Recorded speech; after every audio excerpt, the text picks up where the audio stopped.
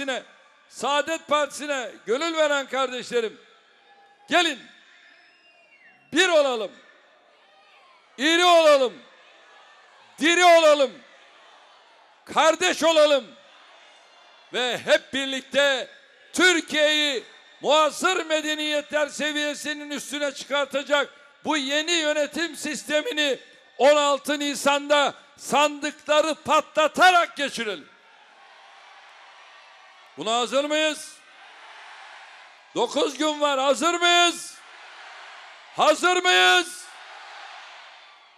Eyvallah. Adana bugün başka be. Bu akşam Adana başka. Bu meydanda ben Adana ile çok konuştum, çok görüştüm. Ama bugün bambaşka. Ve 18 maddelik değişiklik için 180 maddelik yalan uyduranlar var ya. İşte onların yönetim sistemi değişmiş, değişmemiş, çok da umurlarında değil. Bu değişimden rahatsız olanlar kimler biliyor musunuz? Kandil ne diyor? Hayır diyor. İmralı ne diyor? Hayır diyor. Pensilvanya ne diyor? Hayır diyor. Kardeşlerim, hani güzel bir söz var ya. Söyle bana arkadaşını, söyleyeyim sana kim olduğunu. Değil mi? Bir de sevgili peygamberimizin güzel bir hadisi var. Ne buyuruyor? El mer'u ma'a men ehabbe. Kişi sevdikleriyle beraberdir. Ha, kandili mi seviyorsun? Onlasın. FETÖ'yü mü seviyorsun? Onlasın. İmralı mı? Onlasın. Ne diyor şimdi bu? Diyor ki Kılıçdaroğlu hayır diyenlere terörist dedi. Kılıçdaroğlu ben hayır diyenlere terörist demiyorum. Bak ben bir şey söylüyorum dikkat et lafımı saptırma. Uyarıyorum. Bir dostun en önemli görevi nedir? Uyarıdır. Çünkü icranın başında biziz. Çektiğimiz çileler var. Biz birinci köprüyü yapanlara yaptılar, hayır dediler. Aynı zihniyet. İkinci köprüye hayır dediler. Aynı zihniyet. Yavuz Sultan Selim Köprüsü'nü yaptık. Hayır dediler. Aynı zihniyet. Boğazın altından Marmara'yı yaptık. Üç senede 200 milyon insan geçti. Ona da hayır dediler. Avrasya Tüneli'ni yaptık. Ona da hayır dediler. Körfez'de Osman Gazi Köprüsü'nü yaptık. Ona da hayır dediler.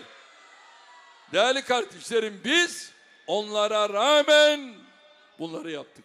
Şimdi milletimle beraber onlara rağmen inşallah 16 Nisan'da bu Cumhurbaşkanlığı hükümet sistemini geçirmeye var mıyız? İnşallah 16 Nisan 1960'tan beri Türkiye'nin iliğini sömüren bu zihniyetin hak ettikleri yere yani siyaset müzesine kaldırılacağı günün adıdır.